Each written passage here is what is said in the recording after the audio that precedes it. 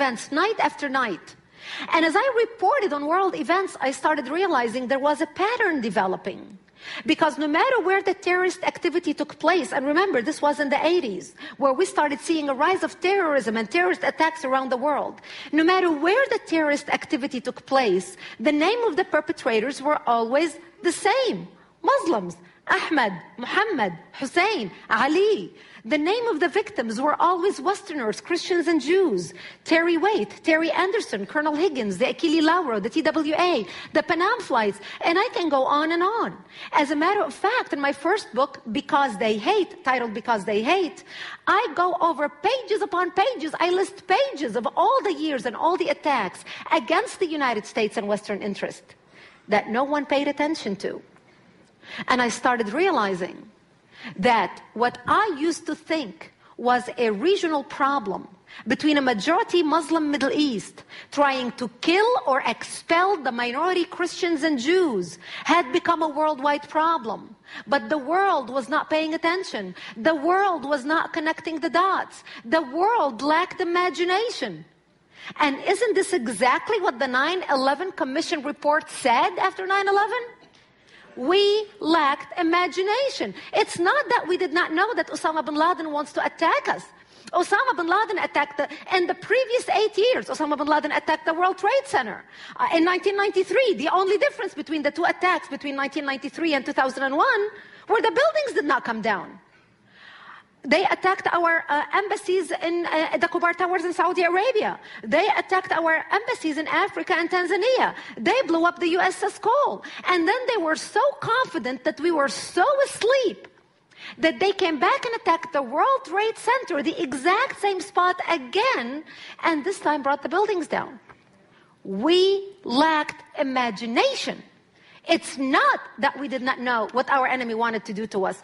Our, we are dealing with an enemy for the first time in history that is so open, so clear, so determined. They don't beat around the bush. They're very direct.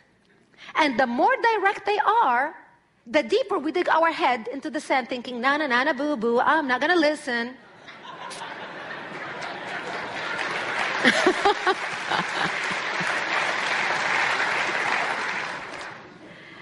And the sad reality is that as long as Jewish blood was being shed on the streets of Jerusalem and Christian blood was being shed on the streets of Beirut, nobody in the world gave a darn. It wasn't until September 11th in the United States that the world woke up and realized, why do they hate us? What did we do to the Islamic world? Very simple words I have for you. They hate us. They hate us because we are infidels plain and simple. So what is driving this radicalism? Where is all this hatred coming from? A lot of people, especially when you listen to Al-Qaeda or the Palestinian, they say, well, we hate America, we are after America because America stands with Israel. Because of your foreign policy, that's why we attacked you on September 11th. If that is the case, then what is the mothership that is launching all this hatred against the West? In order for you to understand that, you have to learn a little bit about an organization called the Muslim Brotherhood, which you have heard something about associated with the Egyptian revolution in the last few months, especially after Christmas. The Muslim Brotherhood is the oldest Islamic terrorist organization in the world, founded in 1928 in Egypt, with 70 offshoot Islamic organizations, including Al-Qaeda and Hamas. Now, the Muslim Brotherhood was founded in 1928. 1928, Israel didn't even exist. America's foreign policy supporting Israel, Israel didn't even exist for us to have a foreign policy. So why did the Muslim Brotherhood launch Al-Qaeda, Hamas, and 70 other Islamic terrorist organizations around the world today?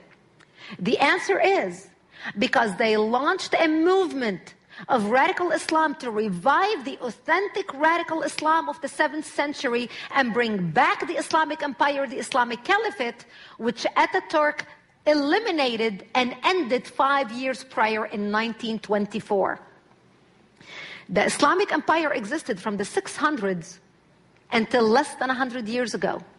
Our knowledge of history is so slim and so small and so almost nil we do not understand what we're dealing with. We do not understand why our enemy is fighting us.